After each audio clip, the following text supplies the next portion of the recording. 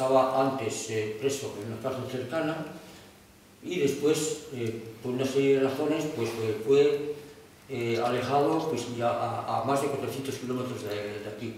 Por lo tanto, pues, en este caso el, alejamiento supone una dificultad mayor para, para, que se desenvuelva el, el día a día, para que lleve bien el día a día.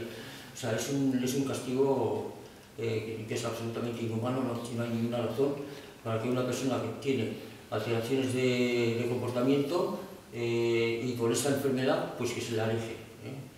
Eso es, muy, es incomprensible.